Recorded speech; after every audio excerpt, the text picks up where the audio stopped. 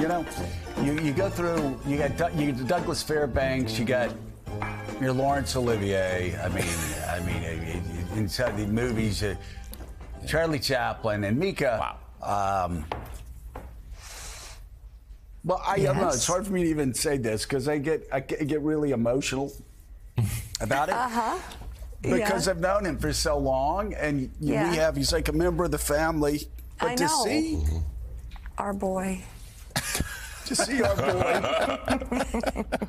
hit the big time. Our Hold on a second. Hold on. Hold on.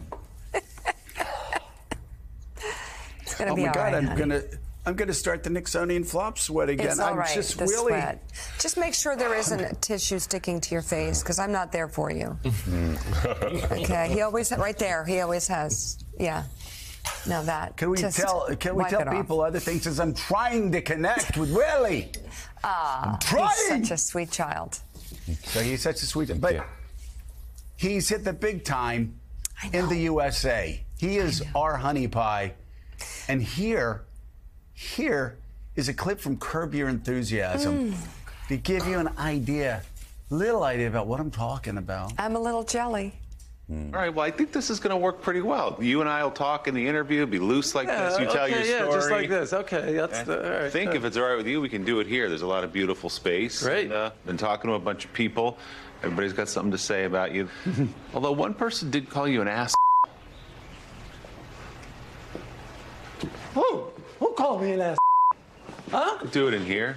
What? Who, who, who, who called me? Who called me an ass? Curious.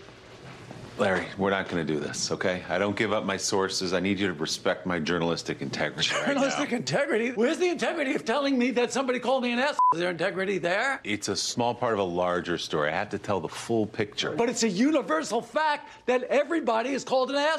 I'm sure Mother Teresa was called an ass by someone. oh, I doubt that. Oh, Larry. Oh, I know. I don't doubt No.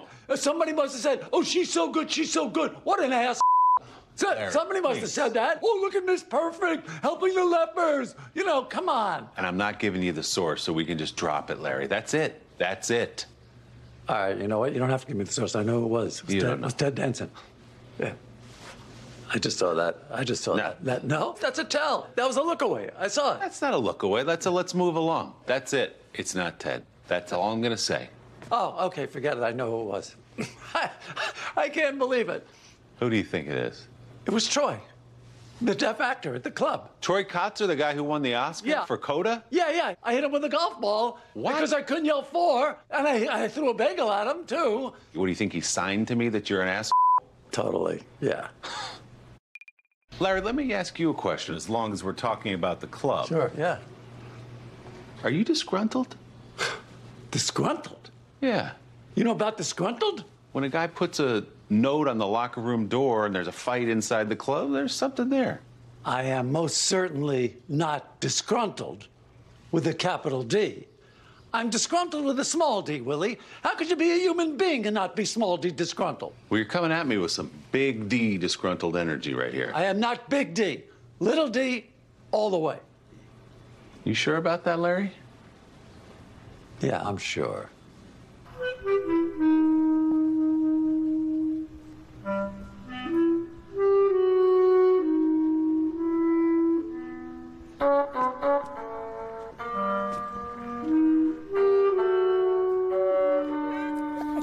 I mean, Mika.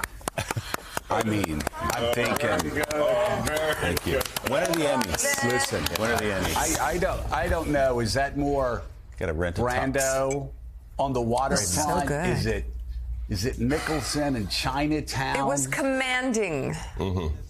Hoffman and Meryl Streep and Kramer. Look at him. He owns Yeah. the screen. It's like nobody else is there. Sorry, Larry.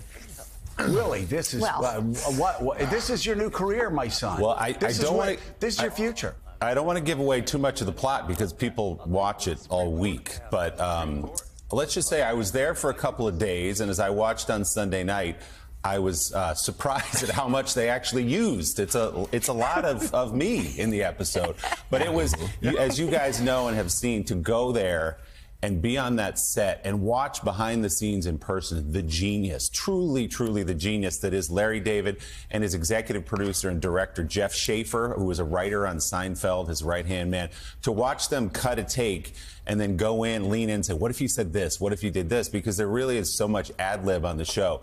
It was truly just like a pure honor and a privilege to even be there, let alone to, to show up on the, the mm. episode. That's so and, great. and he com- completely eclipsed Larry. He just Mika. we love Larry. but Come on, Little D. Little D. come on. Little D. All right. we- we- yeah. no. Little D dominant. Yes. Really, really, real big D dominant for me.